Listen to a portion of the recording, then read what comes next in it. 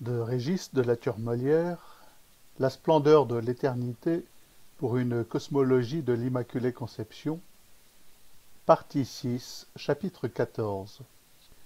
L'interrogation métaphysique, la question de la finalité, la spéculation sur l'origine est propre à l'homme. C'est le propre de l'intelligence. Et le passage de la raison, qui qualifie le degré de vie animal, y compris le degré de vie animal humain, à l'intelligence qui qualifie l'homme et le rend capable de découvrir les principes et les causes de l'univers par induction, est tout simplement aussi impossible par un processus évolutif que le saut de la mitose à la méiose. En d'autres termes, ce qui fait de l'homme un être spirituel aspirant à l'éternité ne peut en aucun cas venir d'une quelconque évolution. Le saut métaphysique est l'impossibilité ontologique ultime qui élimine définitivement la théorie de l'évolution du champ des possibles. L'évolution est une fable bien plus incroyable que l'histoire selon la Bible, m'expliquant qu'un beau jour, un Dieu acte pur, dans une vision de sagesse, a créé l'univers, et qu'il poursuit cet acte créateur dans une éternité qui englobe passé, présent et futur. Remplacer l'acte créateur divin par une théorie hasardeuse revient à poser une limite à l'intelligence. C'est un refus d'intelligence et une manifestation stérile d'un orgueil démesuré. Comment Dieu a-t-il procédé? Je ne saurais le dire, n'ayant pas été présent lors des faits. Je lis la Genèse, et j'y apprends que Dieu l'homme et la femme, comme et femme il les créa. J'y apprends aussi qu'au commencement, nos premiers parents étaient sans péché et ne connaissaient la mort. Comment dans ce cas peut-on admettre en tant que chrétien l'existence de fossiles préhumains? J'ai pour certitude l'impossibilité de l'évolution darwinienne. Cette certitude en entraîne une autre, Dieu agit secrètement, et si l'on veut croire en sa parole révélée, il nous dévoile malicieusement son secret. Citation Livre de la Genèse. Au commencement, Dieu créa les cieux et la terre. La terre était informe et vide, il y avait des ténèbres à la surface de l'abîme, et l'Esprit de Dieu se mouvait au-dessus des eaux. Dieu dit, Que la lumière soit, et la lumière fut. Dieu vit que la lumière était bonne, et Dieu sépara la lumière d'avec les ténèbres. Dieu appela la lumière jour, et il appela les ténèbres nuit. Ainsi il y eut un soir, il y eut un matin, ce fut le premier jour. Dieu dit Qu'il y ait une étendue entre les eaux, et qu'elle sépare les eaux d'avec les eaux. Et Dieu fit l'étendue, et il sépara les eaux qui sont au-dessous de l'étendue d'avec les eaux qui sont au-dessus de l'étendue. Et cela fut ainsi. Dieu appela l'étendue ciel. Ainsi il y eut un soir, il y eut un matin, ce fut le second jour. Dieu dit Que les eaux qui sont au-dessous du ciel se rassemblent en un seul lieu, et que le sec paraisse. Et cela fut ainsi. Dieu appela le sec terre, et il appela l'amas des eaux mer. Dieu vit que cela était bon. Puis Dieu dit Que la terre produise de la verdure, de l'herbe portant de la semence, des arbres fruitiers donnant du fruit selon leur espèce, et ayant en eux leur semence sur la terre. Et cela fut ainsi. La terre produisit de la verdure, de l'herbe portant de la semence selon son espèce, et des arbres donnant du fruit et ayant en eux leur semence selon leur espèce. Dieu vit que cela était bon. Ainsi, il y eut un soir, il y eut un matin, ce fut le troisième jour.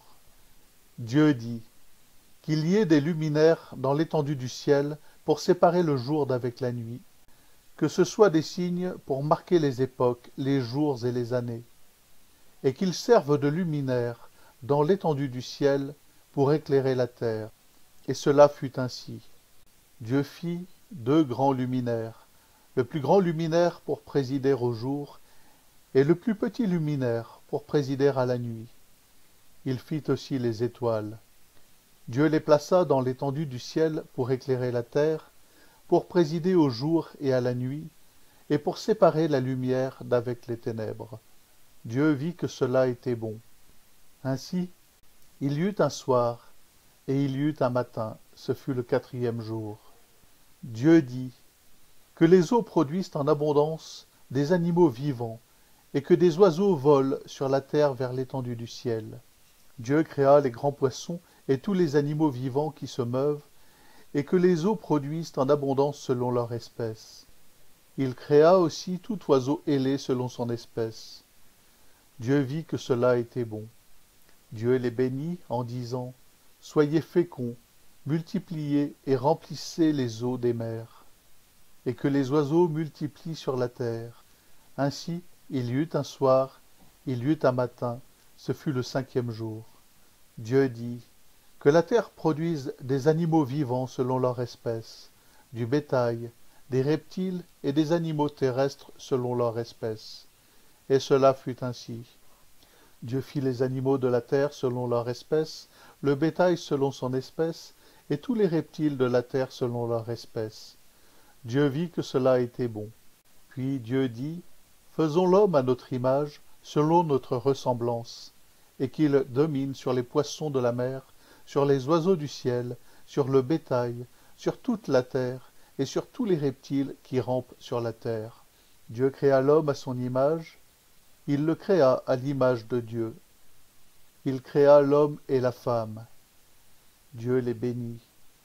Et Dieu leur dit, Soyez féconds, multipliez, remplissez la terre, et l'assujettissez, et dominez sur les poissons de la mer, les oiseaux du ciel, et tout animal qui se meut sur la terre. Et Dieu dit, Voici, je vous donne toute herbe portant de la semence, et qui est à la surface de toute la terre, et tout arbre ayant en lui du fruit d'arbre et portant de la semence. Ce sera votre nourriture. Et à tout animal de la terre, à tout oiseau du ciel, à tout ce qui se meut sur la terre, ayant en soi un souffle de vie, je donne toute herbe verte pour nourriture. Et cela fut ainsi. Dieu vit tout ce qu'il avait fait, et voici, cela était très bon. Ainsi, il y eut un soir, il y eut un matin, ce fut le sixième jour. Fin de citation. Certes, le temps de Dieu est métaphorique. C'est comme parler de sa main, de son bras, de son œil. La création n'en est pas moins menée de façon soutenue. Il n'y a pas de temps mort. Une fois que Dieu entreprend de créer l'univers matériel, il ne prend pas plus d'une demi-journée pour flâner au-dessus des eaux. Ce qu'il faut bien comprendre, c'est que l'univers est l'œuvre d'un créateur unique. Ce récit a donc une valeur scientifique. On peut tenter d'y percevoir une corrélation avec les théories du Big Bang, ou retrouver dans la métaphore temporelle la trace des milliards d'années. Cela ne change pas le fait que Dieu crée selon une modalité qui nous échappe. Il fait surgir le temps de l'éternité, la matière du spirituel et le vivant de la matière. Puis il donne à l'homme une place unique parmi les vivants. Ce sont quatre faits qui aujourd'hui encore conservent leur part de mystère total. Nous ne savons toujours pas ce qu'est le temps, ni ce qu'est la matière. Quant aux vivants, nous sommes toujours dépassés par ce qui anime le plus simple organisme. Et la place de l'homme, jusqu'à preuve du contraire, est exactement celle qui lui est attribuée par le récit de la création. Le jeu de l'athéisme est de minimiser cette place, de laisser entendre que nous ne sommes que des poussières, même si elles sont d'étoiles, perdues dans un univers vaste et infini. Il convient d'inverser cette allégation athée pour retrouver le sens de l'éternité. L'univers n'est que de la poussière lumineuse entourant l'infini de l'homme. Jusqu'au début du XVIIIe siècle, il n'y avait pas de discussion sur la réalité décrite par le récit de la création. C'est une question qui relevait plus de la philosophie que de la science, la philosophie comprise comme une sagesse. C'est un récit proto-historique qui appartient donc au début de l'histoire. Il faut impérativement revenir à cette notion. Dieu crée l'univers avant l'histoire. On ne peut donc que contempler l'acte créateur. Il est parfaitement vain de vouloir réfuter la manière simple dont Dieu s'y est pris, qui nous est ici relatée poétiquement et sobrement. Essayer de déconstruire le temps de Dieu est tout aussi vain. Lorsqu'un savant prétend expliquer l'histoire du temps, il y a fort à parier sur son athéisme militant, son rejet définitif de l'acte créateur. Pourquoi le récit de la Genèse est-il la vérité? Parce qu'au commencement était le Verbe, et que le Verbe était Dieu. Le prologue de l'évangile de Jean et le premier récit de la création sont à lire en parallèle, le parfait éclairant l'imparfait. Le commencement de la Genèse est temporel, celui du prologue en est l'explication métaphysique. La création est un acte inscrit dans l'éternité et s'achève à l'incarnation du Verbe dans un ordre de perfection. Le récit de la Genèse ne peut être compris sans le prologue de Jean. L'acte créateur est entièrement ordonné à l'incarnation du Christ par l'Immaculée. C'est lumineux d'évidence. Pour le dire autrement, cela noie l'intelligence sous un flot lumineux d'évidence. La beauté du récit de la création transcende la poésie du texte, le rend nécessaire, fondamentalement explicatif. On ne peut rien comprendre à l'univers si l'on ne se laisse pas transporter par ce lien spirituel de mots et de phrases entre Dieu et nous. Dieu nous parle, il nous raconte, il nous explique de la façon la plus simple, non seulement le pourquoi, en vue de l'incarnation du Verbe, mais aussi le comment. Tout est ordonné au spirituel tout retourne au spirituel. Tout, chaque atome de matière, chaque photon, chaque gramme d'antimatière est une preuve formelle de l'éternité dans laquelle nous vivons. L'univers appartient au poète. Le beau est une composante de la vérité. Nul doute que la vérité soit belle. Le mécanisme en soi de l'intelligence est harmonieux. L'intelligence permet d'atteindre les principes et donc de contempler. Par ces versets bibliques, je regarde Dieu créé. Tout acte divin est nécessairement magnifique. Il y a une corrélation profonde entre le beau, l'acte créateur, et l'intelligence qui n'a d'autre but que de contempler le lien de création unissant tout être à Dieu. L'intelligence est conçue par Dieu en ce sens, à cette seule fin. Chapitre 15 il faut reprendre le terrain pris par les athées. Nous, attachés au Christ, conscients de sa primauté sur tout ce qui vit, autant que sur la matière et le temps, certains de sa royauté sur l'univers, avons les moyens de hausser les épaules lorsqu'il nous traite de créationnistes, pensant nous insulter. Nous devons nous appuyer sur la statistique impossible du hasard contre ceux pour qui le hasard est Dieu. Sur le réel et la nature, contre ceux qui avancent que nous sommes déterminés par des constructions sociales, sur le bon sens contre ceux qui prétendent qu'avorter est un geste de liberté. Mais notre principale force repose sur la certitude intellectuelle. La lettre de saint Paul aux Colossiens est très claire. Qui possède l'intelligence des mots comprend que ces paroles ne mentent pas. Rien n'est tordu en ces phrases, rien n'est faux. Elles établissent la royauté du Christ comme un impératif, une nécessité et surtout une évidence lumineuse sans laquelle l'humanité se noie dans la vacuité de ses progrès. Frères, rendez grâce à Dieu le Père qui vous a rendu capable d'avoir part à l'héritage des saints dans la lumière. Dans la lumière, cela signifie par l'intelligence. Elle est un don, c'est Dieu qui nous la donne il nous rend capables de participer dès à présent à l'éternité par cette puissance spirituelle qui nous habite. Nous voyons de façon lumineuse, non pas avec nos yeux, mais avec notre vie spirituelle en acte. Le monde aujourd'hui n'a qu'un but, priver l'humanité de ce don, de cette capacité, et la plonger dans un bain d'anesthésion. Il suffit d'écouter une déclaration de politiciens, de journalistes, et maintenant de la majorité des hommes pour voir cette folie à l'œuvre. N'importe quel quidam de la télévision affirmera fièrement son athéisme. Moi, je suis athée. C'est une phrase que l'on entendait peu il y a trente ans et qui est quotidienne aujourd'hui, même sur des plateformes de réinformation et d'opposition au nouvel ordre mondial. Le présentateur éclairé d'un site internet anti-avortement se dira athée et entreprendra de donner du sens à son opposition. Il n'ira jamais au bout de la cohérence. Ou un autre présentateur athée, lui aussi, sur un site patriote, défendra la France en réclamant plus de laïcité, ce qui finalement plaît énormément aux ennemis de la France. L'athéisme est glorifié, entendu dans un débat d'intellectuels. Ah, mais vous, vous êtes chrétien, vous ne pouvez donc rien comprendre au progrès. Aujourd'hui, le chrétien est présenté comme réfractaire à la lumière, rétrograde, obscurantiste, alors qu'il est exactement l'opposé de cela, puisqu'il est attaché à la vérité du réel, à la splendeur de la création, à la vie lumineuse et spirituelle des saints, à l'éternité qui lui est offerte et dont il vit déjà de son vivant. Dans la lettre aux Colossiens, Paul dit encore, Nous arrachant au pouvoir des ténèbres, il nous a placés dans le royaume de son Fils bien-aimé. Fin de citation. Nous sommes donc arrachés aux ténèbres. C'est le contraire de l'obscurantisme. Ma certitude m'arrache au néant de l'anesthésie.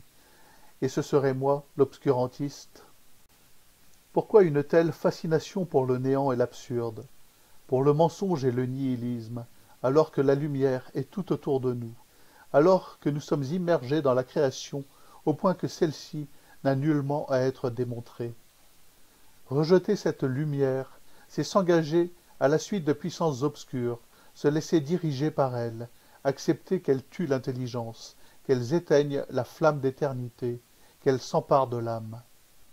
Il y a bien des puissances de ténèbres à l'œuvre, qui petit à petit grignotent la lumière, et de plus en plus vite, au point de rendre oppressant jusqu'à l'air qu'on respire. En l'espace de dix ans, sous l'action de nos trois derniers présidents, une accélération de la perte du sens est ressentie par bon nombre de gens. Les gilets jaunes en sont une illumination, et la réaction folle du président En Marche en est une preuve.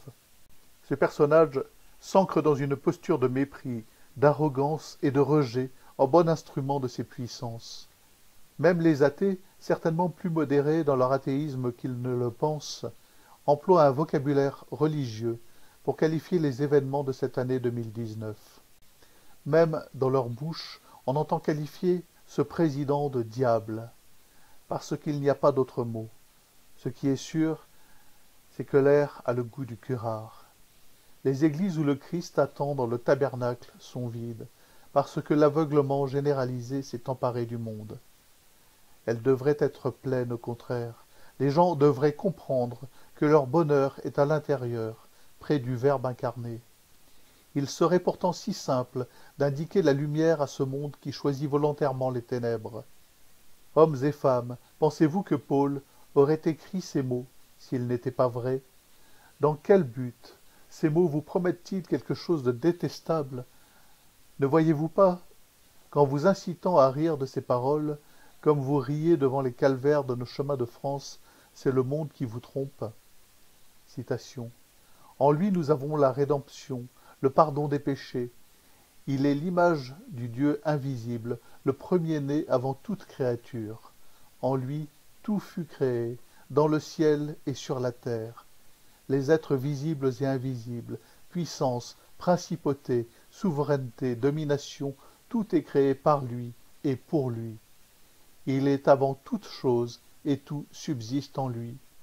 Il est aussi la tête du corps, la tête de l'Église, c'est lui le commencement, le premier-né d'entre les morts, afin qu'il ait en tout la primauté. Car Dieu a jugé bon qu'habite en lui toute plénitude, et que tout par le Christ lui soit enfin réconcilié, faisant la paix par le sang de sa croix, la paix pour tous les êtres sur la terre et dans le ciel. Tout est inversé, la lumière est présentée comme ténèbre et néfaste, le nihilisme est vendu comme la valeur d'avenir, celle du progrès et du salut. La ligne de démarcation est de plus en plus nette entre lumière et obscurité. Le monde lit la lettre de saint Paul, déclarant nettement la royauté du Christ sur l'univers, et cela lui semble déraisonnable, irrationnel, mensonger. Tout me crie pourtant, en ces mots, que la vérité est là. Plus je les lis, plus j'ai la certitude que le Verbe Christ est le maître absolu et que le monde se trompe. Le terrain de l'athéisme est en apparence considérable. Le monde est antéchrist. Partout où porte l'attention, le Christ est chassé. La République française est très fière de se déclarer laïque, considérant que c'est sa première qualité. La religion ne doit pas s'afficher sauf dans les foyers. Lorsque l'on sort de sa maison, il faut y abandonner l'intelligence et adhérer aux forces de progrès. En fait, il faut entrer en superficialité, pénétrer dans le royaume de l'absurdie, dès que l'on s'aventure hors de chez soi. Cela étant contraire à la nature humaine qui est spirituelle et profonde, l'athéisme est donc quantité négligeable. Ce qu'il représente n'est rien, quand bien même il serait au pouvoir, avec une majorité conséquente. Si la laïcité consiste à affirmer que les hommes sont des femmes, parce que cela correspond à leur désir du moment, et que les femmes qui se sentent hommes sont des hommes, alors mieux vaudrait en rire et laisser passer leur âge. Les hommes de bien, ceux qui voient le vrai, ceux qui regardent dans l'univers la main d'un créateur, ne peuvent être insensibles à la violence du néant. La situation actuelle est oppressante, elle nous atteint tous d'une manière ou d'une autre. Nous sommes tous contaminés par une part non négligeable de ténèbres. Entrevoir encore une lueur est désormais une gageure, un combat de tous les jours. L'esprit ne peut mourir, la vie spirituelle demeure, même chez une personne ancrée dans le refus de Dieu, proclamant son athéisme tel un trophée gagné de haute lutte contre l'obscurantisme. Mais en écoutant la clameur du monde, il semble qu'une conclusion s'impose. L'intelligence est morte, il est impossible de laisser entendre une autre voix que celle du mondialisme et sa cohorte de sous-religions progressistes, le multiculturalisme, l'écologisme, le scientisme, toutes valeurs opposées à la providence, à la miséricorde, au pardon, à l'amour de Dieu. Sans l'intelligence et la certitude, il est impossible de suggérer même de loin, avec un luxe de précautions oratoires, l'éventuelle fausseté d'une de ces théories qui entraînent l'humanité dans un destin commun autre que le salut des âmes offert par le Christ.